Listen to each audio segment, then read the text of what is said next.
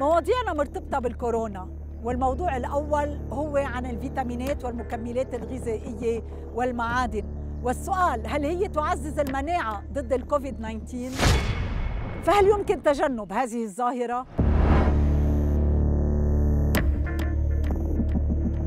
وباء كورونا وتقوية المناعة أمرين ارتبطوا ببعض من لحظة ظهور هالوباء فهرعوا الناس إلى الصيدليات لشراء أنواع فيتامينات ومتممات غذائية يقال إنها بتقوي مناعتهم وبتحميهم من الفيروس. سجلت الأرقام زيادة مبيع الفيتامين سي مثلاً بنسبة 20% والزنك اللي يستخدم كعلاج للرشح والأمراض التنفسية بأكثر من 100% فهل تناول الفيتامينات حقاً فعال؟ هلا أول شغلة لازم نعرفها إنه الفيتامينات هي شغلة كثير مهمة بالجسم. وموجودة بكميات تبقى كميات قليلة. شغلة كثير مهمة آه، لجهاز المناعة. شغلة مهمة للعينين للأظافر للشعر آه، للجرح cicatrisation. بس الشخص يلي بياكل بطريقة منتظمة منه بحاجة ابدا ياخذ vitamins. بلبنان الخنقة الاقتصادية والخوف من رفع الدعم عن الدواء والقلق من بكرة أدى إلى ارتفاع جنوني بطلب المتممات الغذائية والأدوية. وصارت القصة تحويجة بيقوم فيها الشخص وبخزن عنده فيتامين سي وفيتامين دي وزنك وغيرها على صحة السلامة. اللي عم نلاحظه وقت يعلو كثير أرقام الكورونا. for example مثلا بعد New Year الطلب اللي صار كان جنوني يعني كان هائل. هلا بتحسي رجعت خفت بس على التخزين كتخزين إيه واحد عم بيحط عنده وحده spare بس مش amounts لأنه غاليين كمان منهم رخاص ال vitamins. يعني مثلا الفيتامين سي ببلشوا من ال 40000 ل 10 حبوب. كي الفيتامين دي لأ بعده سعره كثير مقبول لأنه مدعوم. الفيتامين دي الزنك ببلشوا من ال 15 حبة بحدود 30000 وبيطلعوا. توصلي فيك توصلي ل 170 بالزنك. في عالم بيركضوا بيقول لك قبل ما يغلى.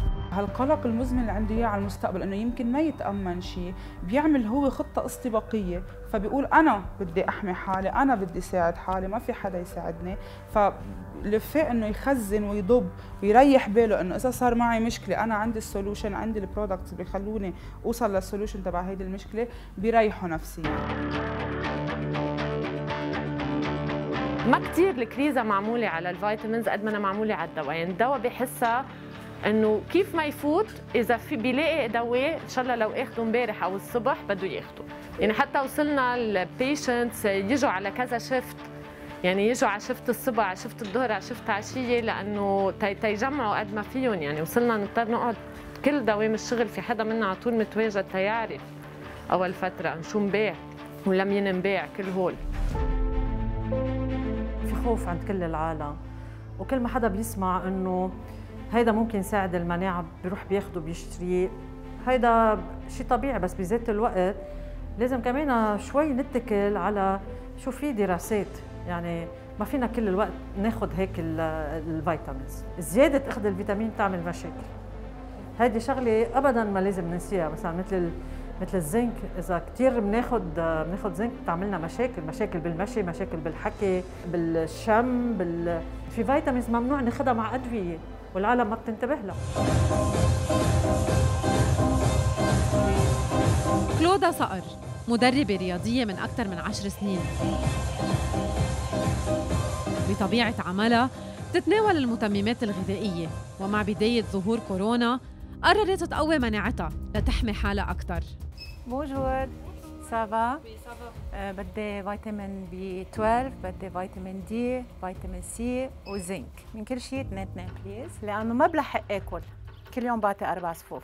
so مجبورة آخذ supplement آه وصلنا لوقت إنه آه إجت ال pandemic وهالوباء هيدا وقعدنا بالبيت فترة. هلأ هون أنا ما اخذتها بعين الاعتبار نوقف supplement ضليت آخذ. آه لتاريخ ما حسيت إنه مش أنا مش جسمي. آه ما في هال full of energy اللي عندي إياها. فهون عملت question mark على حالي. طلعت عملت un bilan بين عندي إنه الفيتامين دي كثير عالي فيتامين سي كثير عالي آه زنك لأنه كل العالم أخذت هيدا الشيء وقت الكورونا. سؤال من أول مناعة. actually هول كلهم ماشي. تسمم جسمها بسبب ارتفاع نسب الفيتامينات عندها مخزون الحديد عندي صار كثير عالي. overdose صار مثل ما بيقولوا. فهذا الشيء بصير يكب سم على الكبد.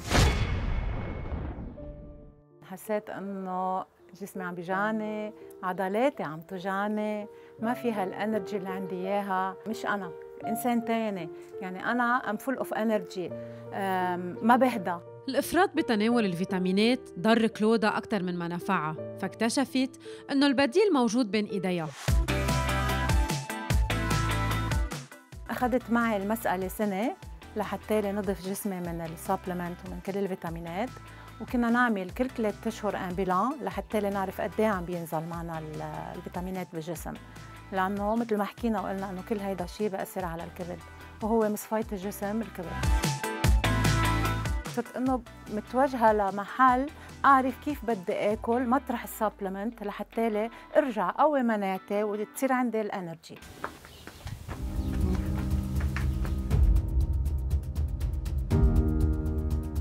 كثير بشجع العالم تعمل sport وكثير بشجع العالم تغير هيدي النفسية. ما تفكر إنه في كورونا ما تفكر إنه أنا حأنصاب لا لأنه كل شيء بيتركب هون بالدماغ. So أنا مفروض علي أعمل sport آكل منيح أتغذى منيح. That's it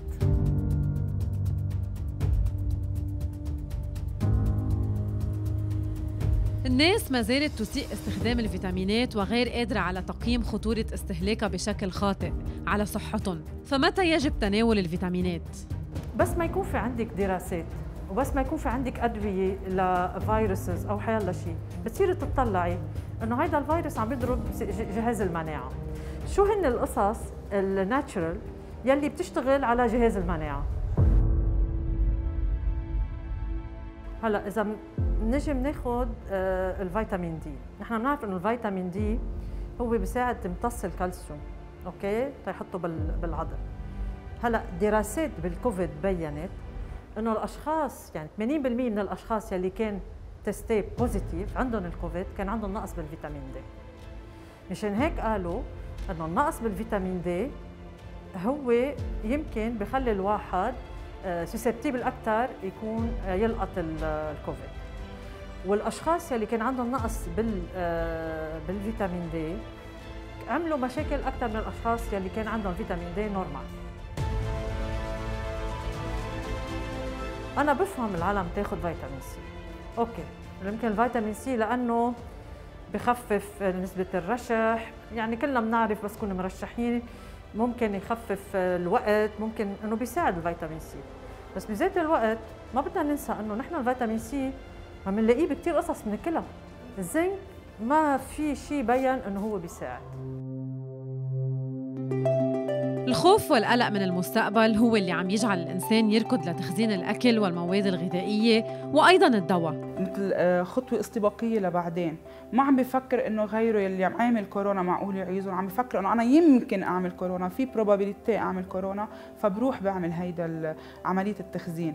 آه، هيدا خوف من الموت هو خوف من آه إني أوصل لمحل ما عندي plan B بإيدي.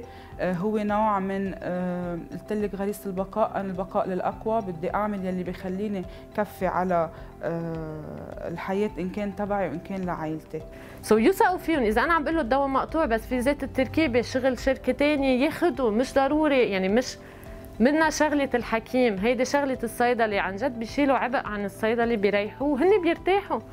لأنه اليوم مليان generic بالسوق مليان.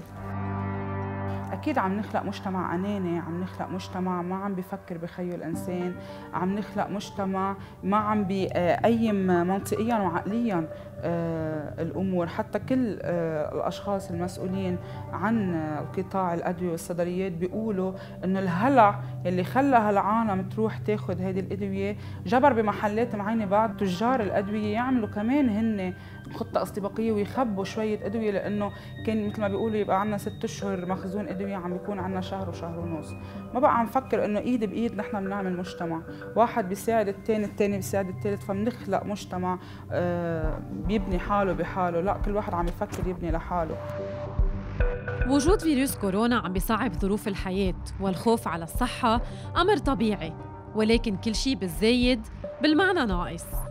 الإنسان بس ياخذ دواء يمكن بحس حاله آه، مثل كأنه عم بيحمي حاله. انه أخذت الفيتامينات تبعي. إذا بدنا ناخذ شيء فينا ناخذ فيتامين D ناخذ فيتامين C بس في كثير عالم عم بلش أسبرين ايفيرمكتين آه، ما بعرف ما ضل في شيء ما يعني ما عم بياخذوه ما لازم يتاخذوا هالأدوية إلا بوصفة حكيم. هذه شغلة كثير مهمة.